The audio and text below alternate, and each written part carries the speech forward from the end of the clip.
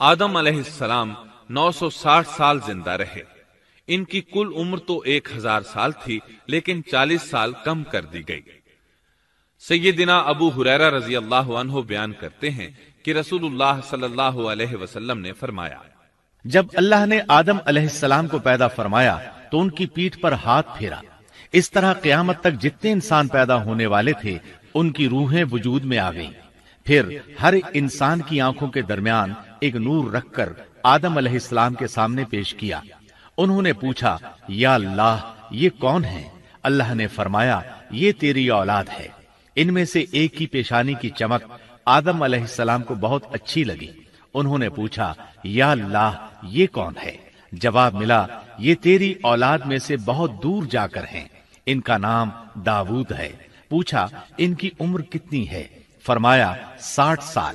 آدم علیہ السلام کہنے لگے، یا اللہ، چالیس سال میری عمر میں سے ان کی عمر میں شامل کر دے۔ اس سلسلے میں دوسری روایت یوں آئی ہے۔ جب آدم علیہ السلام کی روح قبض کرنے کے لیے فرشتہ آیا، تو وہ کہنے لگے، میری عمر میں تو ابھی چالیس سال باقی ہیں۔ اس وقت ان کی عمر نو سو ساٹھ سال تھی۔ انبیاء اپنی عمر سے واقف ہوتے ہیں۔ فرشتے نے کہا، کیا آپ کو یاد نہیں، آپ نے اپنی عمر کے چالیس سال اپنی اولاد داود کو ہبا کر دیے تھے۔ رسول اللہ صلی اللہ علیہ وسلم نے فرمایا، چونکہ آدم علیہ السلام نے انکار کیا، تو ان کی اولاد بھی انکار کی عادی ہے۔ آدم علیہ السلام خود بھول گئے، ان کی اولاد بھی بھولتی ہے۔ آدم علیہ السلام نے خطا کی، ان کی اولاد بھی خطا کرتی ہے۔ حابیل کے قتل کے بعد اللہ تعالیٰ نے آدم اور حوا علیہ السلام کو اس کا نیم البدل عطا کیا۔ اس کا نام انہوں نے شیس رکھا۔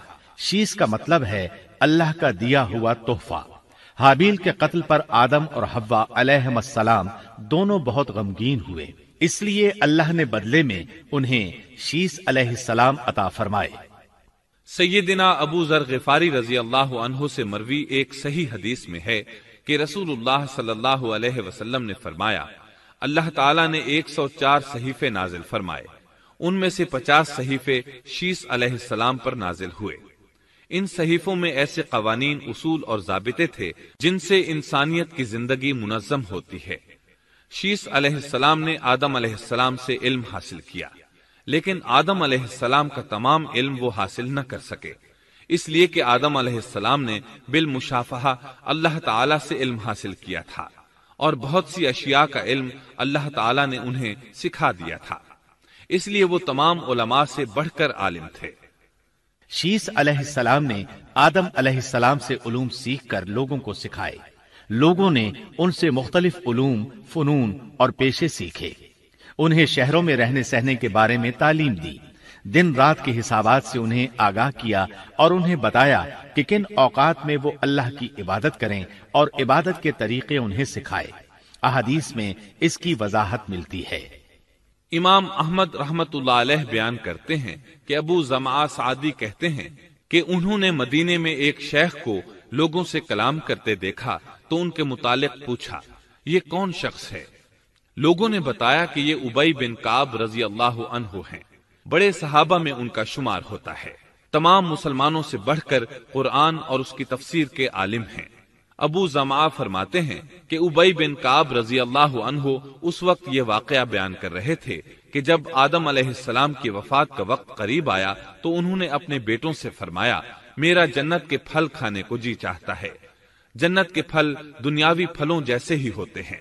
سیب، انار، انگور، یہ سب جنت میں موجود تھے۔ جنت کے اور دنیا کے پھلوں میں فرق یہ ہے کہ دنیاوی پھل بدبودار ہو جاتے ہیں، جبکہ جنتی پھل کبھی بدبودار نہیں ہوتے۔ اسی طرح دنیاوی پھلوں کا ذائقہ عارضی ہوتا ہے، جبکہ جنتی پھلوں کا ذائقہ ہمیشہ برقرار رہتا ہے۔ اس لیے آدم علیہ السلام نے چاہا کہ وہ جنت کے پھل کھائیں۔ چنانچہ ان کے بیٹے تلاش میں نکل گئے۔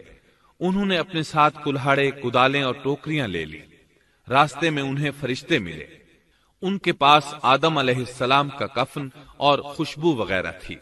انہوں نے پوچھا، آدم کے بیٹو، کس چیز کی تلاش میں ہو؟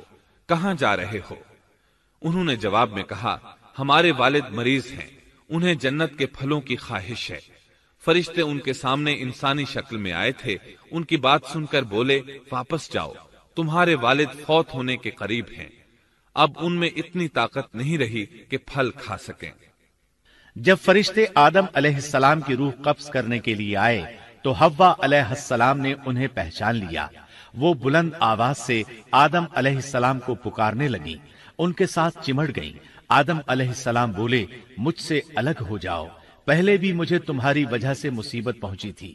میرے اور میرے رب کے فرشتوں کے درمیان سے ہٹ جاؤ۔ پھر فرشتوں نے آدم علیہ السلام کی روح قبض کی۔ انہیں غسل دیا، کفن پہنایا، خوشبو لگائی، آپ کی قبر کھودی، پھر انہوں نے آدم علیہ السلام کی نماز جنازہ ادا کی۔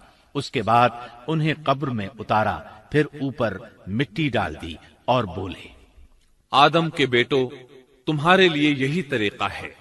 اس وقت تک لوگ کفن دفن کے احکامات سے واقف نہیں تھے۔ انہیں علم نہ تھا کہ قابیل نے اپنے بھائی کو کیسے دفن کیا تھا۔